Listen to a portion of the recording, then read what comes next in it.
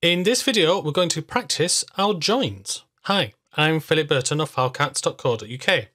What I've got on screen are two different views. You can see the code that I have written to create these views. Now, the actual datasets may be different on your computer, but they'll be comparable, I think. So what I want is a single dataset that combines these two together. Now, you may be thinking, okay, that's easy. All I'll do is put the word union between them. And that would be correct, apart from one thing. We have a create date and a modified date, and they are not the same. If I use union, then for instance, we've got a repeated row 6, row 7, row 9. That is not going to work, but a very good idea if you thought of that. So the question for you is, you need a join to combine these two together. I need all six rows from here. I need a further two rows from here, and I need five columns. Object ID, name, create date, modified date, schema ID. So if you're experienced with SQL, why not treat this as a practice activity? So you can see the code that I've used in the description to this video. Good luck. Why not pause the video now and have a go at it? So let's have a look and see what we can do with these two. So this is the idea that we want, the end result. So object ID, name, and two separate date columns. Now we've got to join them together. Now what sort of join do we want? Well, do we want an inner join? So let's just start drafting this. So select everything from view one, inner join, or that would just be join. Now what are we joining on? Where the object ID is the same. So where object ID in both views are the same. Unfortunately, that just gives us all of the rows where the object ID is the same. And I want eight rows, that only gave me four. Well, could it be a left join? And again, no, this means I get everything from the first view and only those from the second view which match. Same for the right join, except the other way around. So what joins are left? Well, there's the cross join that will give me six rows multiplied by six rows, 36. I only want eight. And there's the full join, and that will give me everything from the first view, everything from the second data set. So let's see what happens when I do a full join. Now we've got eight rows. Excellent. But we've got too many columns. So I could just pick one object ID. The problem with that is we'll have two nulls down here. So I want object ID, name, and schema to not have any nulls, assuming, of course, there are some values in here. And I'm going to do it three different ways. So we've got three different columns. I'm going to do it three different ways. So first of all, I'm going to get rid of the star and I'm going to write out the columns. So this will just take me a few seconds. So we've got schema ID. Then we've got create date and modify date. Now notice that I had to write which view it was from where the same column was used twice. So I had to say view 1, view 2. I didn't have to do that for create date and modify date because they were only used once. So, so far, getting better. So we need to merge these two columns together.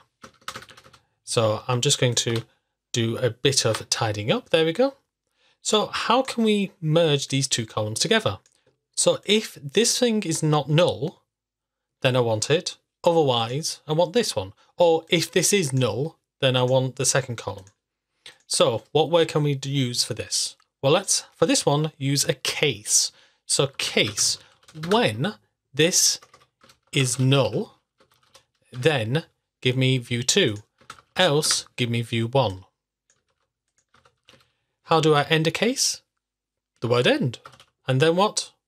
Well, I'd better put an alias because otherwise it would come up as no column name. So let's have a look, see what happens.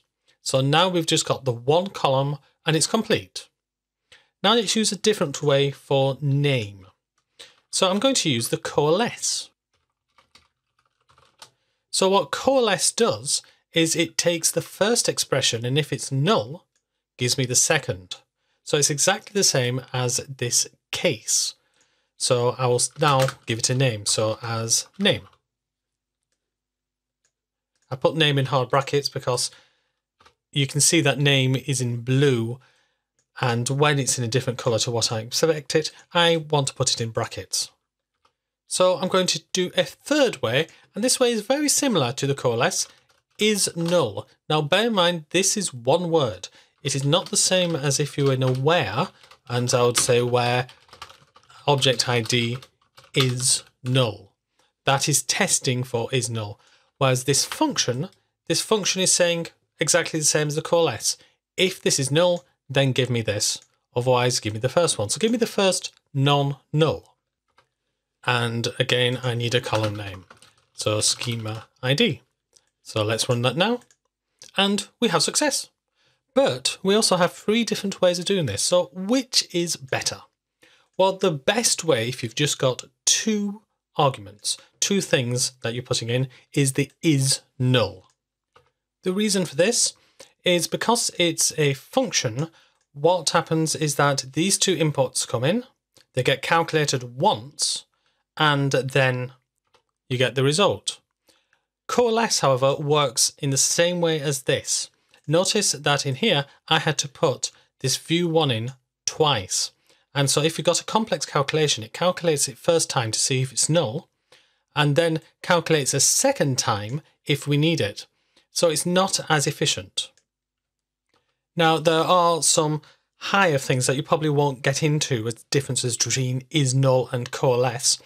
If we're looking at data types, the data type for the is null will be the first data type, this one. However, for the coalesce, it will be whichever has the highest precedence. So you won't come across that too often. There's also the nullability of it. So is null is generally considered a not nullable answer, whereas coalesce is generally considered a null answer. Now, the number of times that I've had to distinguish between those two is very small. So by preference, would use is null. However, is null can only take two arguments, two answers.